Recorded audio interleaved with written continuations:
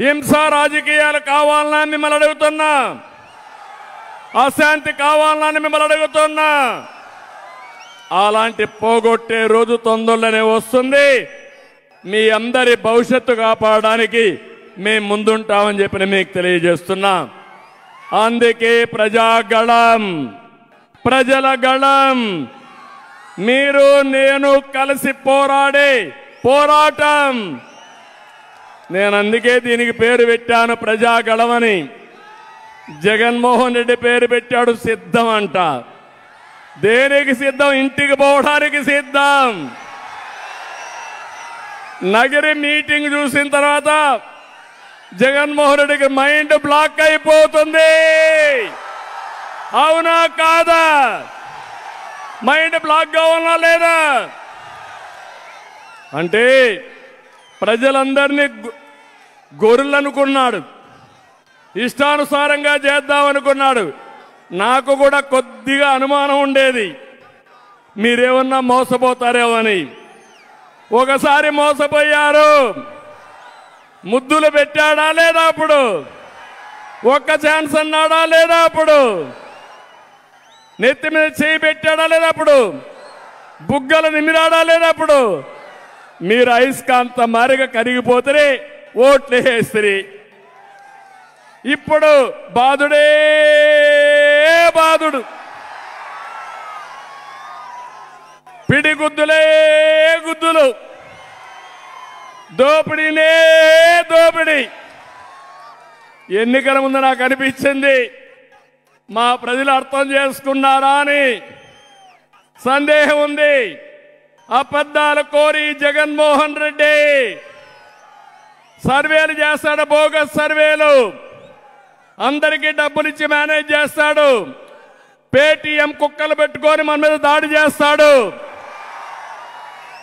Social మీడియాలో లేనిది ఉన్నట్టు ఉన్నది లేనట్టు చెప్పే దిట్ట.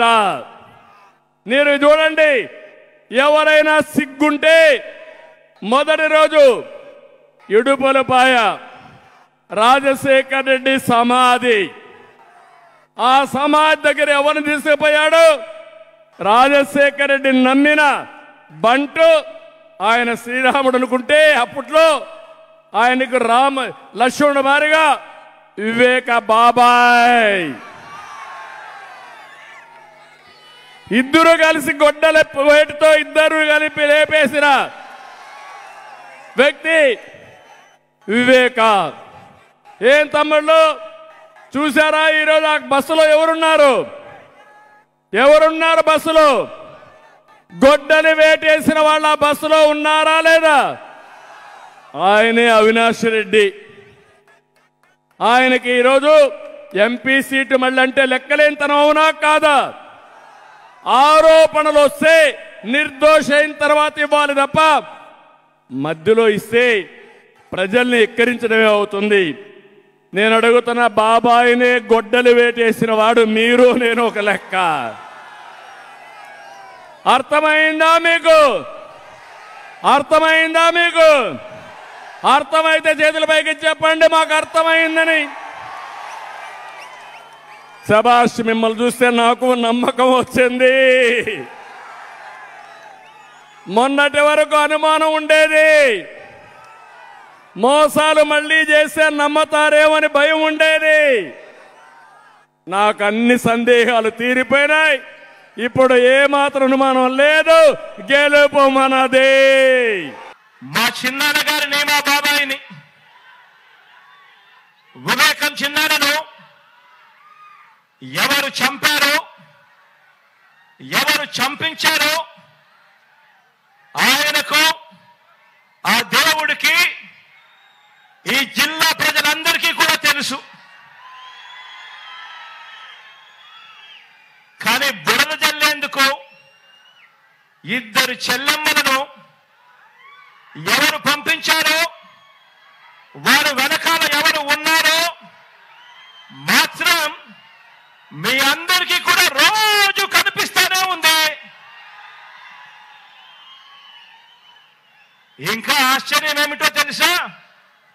ఇంకా ఆశ్చర్యం ఏమిటి అని అంటే వివేకం చిన్నాలను అతి దారుణంగా చంపి అతి దారుణంగా చంపి అవును నేనే చంపాను అని అతి హేయంగా బహిరంగంగా చెప్పుకుంటూ తిరుగుతా ఉన్న హంతకుడు ఆ హంతకుడికి మద్దతిస్తా ఉన్నది ఎవరో కూడా మీరంతా కూడా రోజు చూస్తా ఉన్నారు.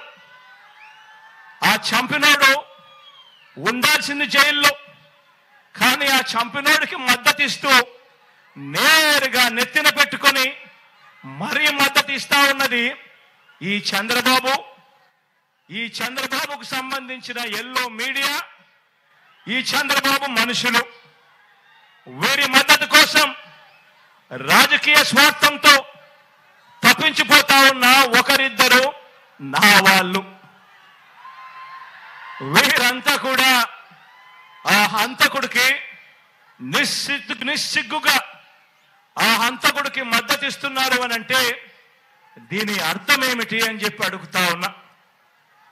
చిన్నాడను అన్యాయంగా ఎమ్మెల్సీ ఎన్నికల్లో ఓడించిన వారితో ఈరోజు చట్టాపట్టాలు వేసుకొని తిరుగుతున్నారు అని అంటే దాని అర్థం ఏమిటి అని అడుగుతా ఉన్నా. ఇంతటి దారుణం చేస్తూ దీన్ని నన్ను దెబ్బతీసే రాజకీయమని వారికి వారే చెబుతున్నారు అని అంటే ఇది కలియుగం కాకపోతే ఇంకా ఏమిటి అని అంటా ఉన్నాను ఈ సందర్భంగా మీ అందరి ప్రేమానురాగాల మధ్య నిలుచుని. ఇంతకన్నా అన్యాయం ఎక్కడైనా ఉంటుందా అని అడుగుతా ఉన్నాను. మీ అందరి ప్రేమానురాగాల మధ్య నిలుచుని. ప్రజల మద్దతు లేని బాబు చేస్తా ఉన్న ఈ నీచ రాజకీయంలో ఎవరు ఎటువైపున ఉన్నా కూడా నేను మాత్రం ప్రజల పక్షమే అని చెప్పి ఈ సందర్భంగా గర్వంగా చెప్తా ఉన్నాను. ఆ దేవుడు ఆ ప్రజలు వీరిద్దరినే నమ్ముకున్న ధర్మాన్ని న్యాయం వీటి రెండింటిని నేను నమ్ముకున్నాను.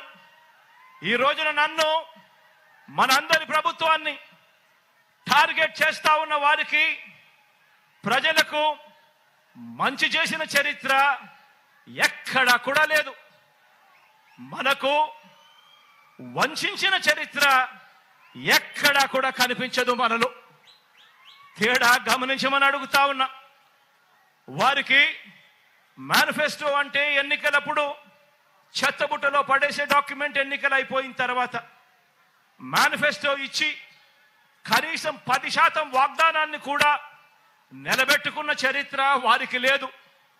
కానీ మేనిఫెస్టోను ఒక బైబిల్గా మేనిఫెస్టోను ఒక ఖురాన్గా మేనిఫెస్టోను ఒక భగవద్గీతగా ఇంత త్రికరణ శుద్ధిగా భావిస్తూ ఏకంగా మేనిఫెస్టోలో చెప్పిన హామీలు తొంభై తొమ్మిది శాతం వాగ్దానాలు వాగ్దానాలు నిలబెట్టుకున్న చరిత్ర మనది.